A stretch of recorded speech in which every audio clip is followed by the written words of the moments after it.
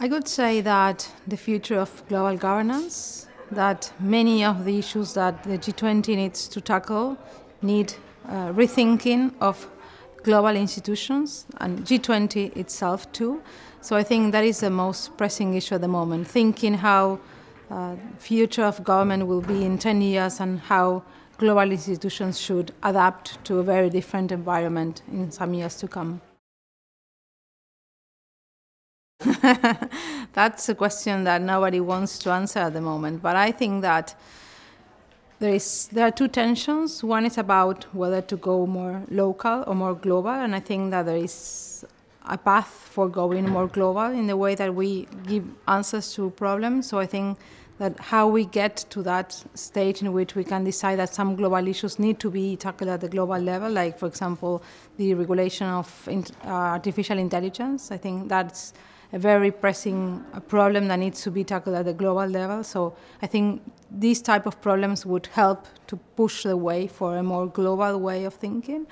And the other tensions, I would say, is about how we can accommodate what global institutions need to do and what citizens are pressing for. And I think there is a decoupling, to use Dennis Snower's words, mm-hmm. of what people are expecting. They're, they want immediate responses. They have their friends on WhatsApp and they have immediate answers from what they are talking on their everyday conversations. And at the same time, they have to wait for long-term responses to very pressing problems. So I think that decoupling between expectations of the people and what are the responses to those problems is a tension that will be uh, on this stage. I'm not going to give you the answer because I don't have it, but I think those tensions are part of the, the way ahead.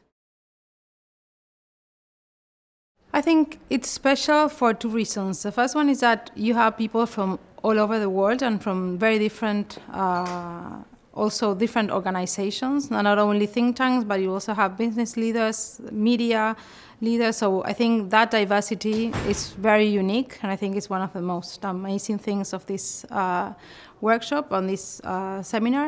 And I think the other one is that we are all the time trying to push for discussing the solutions and not only the problems, and we are full of uh, diagnosis about all that is wrong, but we are not thinking about ways to solve it. And I think that is the very ambitious uh, name of the uh, summit, but also I think it's the strategy of all the conversations, and I think that is very enriching and it's mm -hmm. fabulous.